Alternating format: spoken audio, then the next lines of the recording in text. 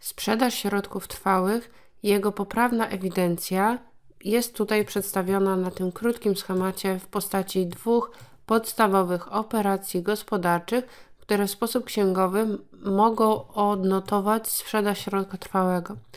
Jeżeli operacja pierwsza dotyczy likwidacji środka trwałego z uwzględnieniem dotychczasowego umorzenia, to musimy zauważyć, że na koncie aktywnym o nazwie środki trwałe, której po stronie kredytowej następują y, zmniejszenia stanu tego środka, tego konta środki trwałe, Tutaj y,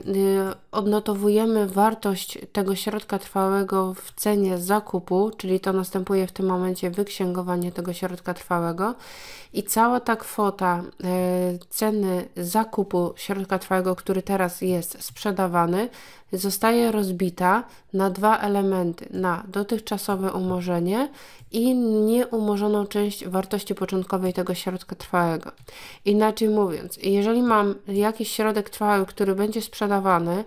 y, my musimy ustalić w momencie jego likwidacji jako elementu sprzedaży, jaki poziom ma dotychczasowe jego umorzenie i jaką wartość netto po uwzględnieniu tego spadku wartości tego środka trwałego, który sprzedajemy, zostaje nam E, w tym środku. I w tej sytuacji, jeżeli mamy wyksięgować środek trwały, wyksięgowujemy go w całej wartości cenie zakupu, a na koncie umorzenie środków trwałych, na którym po stronie kredytowej zawsze następują zwiększenia, e, to na tej stronie przeciwnej, czyli debetowej, wyksięgowujemy z tego stanu umorzenia środków trwałych tą kwotę odpowiadającą za środek trwały, który zostaje sprzedany.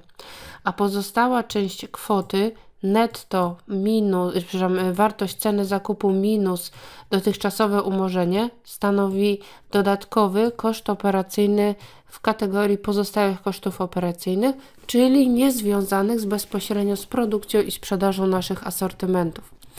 Dlatego jest to odnotowane na koncie kosztowym, bo stanowi to dla nas koszt.